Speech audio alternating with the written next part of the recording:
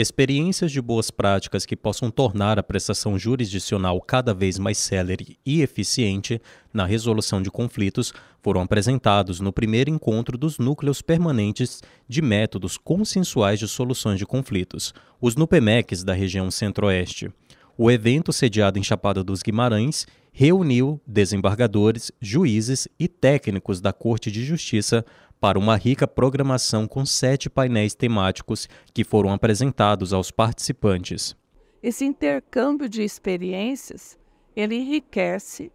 e favorece também essas trocas, porque quando a gente acha interessante uma experiência que está dando certo num desses estados, a gente tem a, a possibilidade de trazer para nós também e vice-versa você está trabalhando um processo de mudança do sistema judicial, saindo daquele tradicional contencioso que nós sempre soubemos como funcionava a justiça,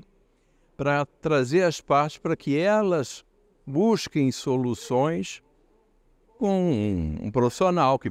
técnico para fazer uma mediação, uma conciliação, mas com a participação efetiva, democrática das partes. O que se pensa em encontros dessa natureza é, o que, que a gente pode fazer de melhor, o que, que a gente pode aprimorar e desenvolver para termos uma sociedade mais pacificada, para termos uma sociedade que construa também as suas soluções nos casos em que isso seja possível. Na palestra de abertura, o foco dos debates foram as ferramentas do mundo digital, o juiz Eduardo Perrufo, do NUPEMEC de Goiás, apresentou as tecnologias mais utilizadas na realização das audiências de conciliação e mediação. O uso de audiências concentradas, audiências é, através de mutirões e utilizando, às vezes, muitas vezes o WhatsApp para facilitar essas audiências, é, usando o núcleo de trânsito também com audiência para que isso seja mais rápido, com audiências com WhatsApp para que isso seja mais rápido também e essa solução de conflito venha de forma imediata.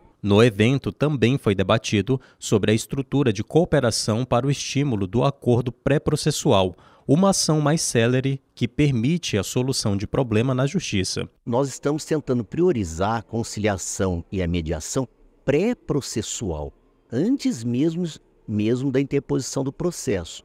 Então, nesse espaço que nós criamos lá, dentro de um dos nossos fóruns, está instalada a Defensoria Pública. Então, o jurisdicionado vai até a Defensoria Pública, a princípio, querendo que seja interposta uma ação. A Defensoria Pública, entretanto, antes mesmo de interpor a ação, vai, através de seus servidores e nossos conciliadores, servidores deles, claro, treinados para mediação e conciliação,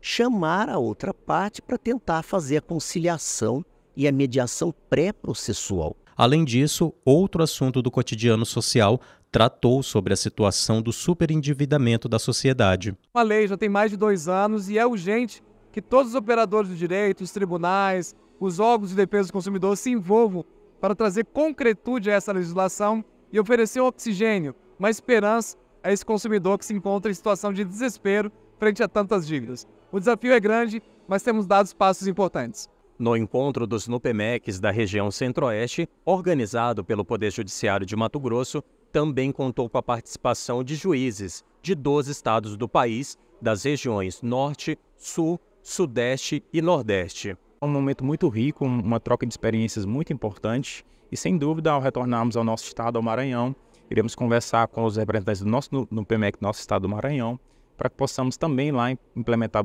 boas práticas, a exemplo das que já são lá utilizadas esses novos eventos, como o, esse primeiro encontro, né, eles representam uma tentativa da justiça brasileira né, de iniciar um resgate desse modelo de conciliação e mediação para trazer para o conflito uma solução que seja efetiva e que atue sobre a causa dos problemas. Foi extraordinário. As palestras, a organização, o evento, os temas trazidos, o nível de discussão tudo foi extraordinário. Eu saio daqui muito feliz, muito enriquecido e levo experiência para o nosso estado para divulgar e tentar implantar lá. Esse seminário ele representa o fechamento de um ciclo de encontros regionais de NUPEMEX, como uma proposta do FONAMEC,